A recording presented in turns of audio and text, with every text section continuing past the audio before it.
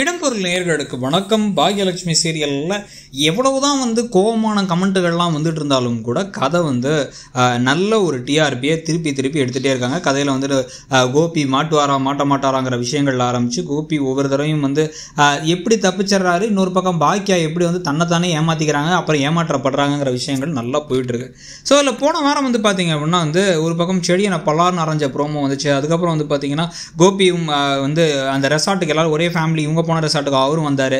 வந்த போது எழில் பார்த்தாரு அப்படிங்கிற விஷயங்கள்லாம் நடந்துச்சு. ஸோ இன்ட்ரெஸ்டிங்கான விஷயங்கள்லாம் நடந்ததின் விளைவு என்னன்னு பார்த்தீங்கன்னா திருப்பி அர்பன் வீக் டேஸில் வந்து நம்பர் ஒன் பொசிஷனில் வீக் பன்னெண்டுலையும் பத்து புள்ளி ஜீரோ வந்து ரேட்டிங் எடுத்திருக்காங்க டிஆர்பி ரேட்டிங் அதுக்கு முந்தின வாரம் பத்து இப்பயும் பத்து இப்பயும் நம்பர் ஒன் பொசிஷன் அப்படிங்கிறது ஒரு பெரிய விஷயம் தான் ஸோ கண்டினியூஸாக வந்து விஷயங்கள் மாறி மாறி வந்து இதே மாதிரி பாசிட்டிவாகவே வந்து பாகியலட்சுமி சீரியலுக்கு நடந்துகிட்டு இருக்கு.